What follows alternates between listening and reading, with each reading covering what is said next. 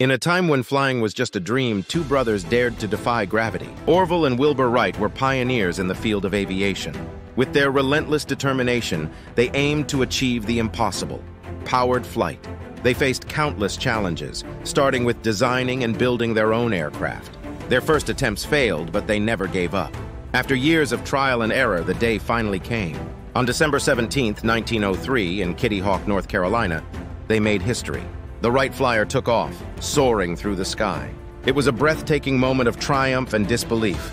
They had unlocked the secrets of flight, forever changing the course of history.